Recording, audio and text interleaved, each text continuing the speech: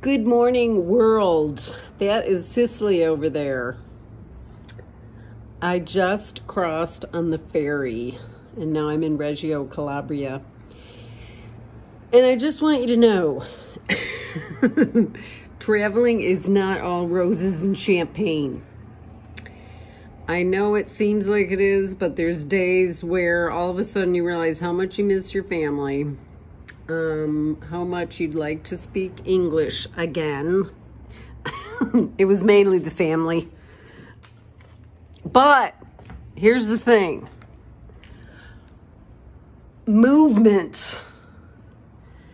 See, many people think it's movement and not um, being in one place for a long time can be bad, but actually movement is quite amazing because I was pretty sad this morning and I want to say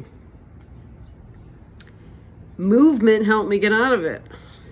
Because once I started moving towards the train station and the ferry and going, it made me realize that sometimes you can get stuck in a rut if you just kind of stay in the same um, your same room, not changing, not moving.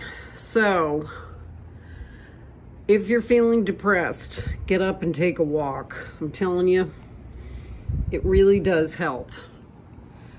Some new thing will come to you and that movement's going to change change up your biological cells. So I'll leave you with that. Love from the toe the boot toe of Italy after crossing from Sicily on the ferry. And I'll see you in the next video.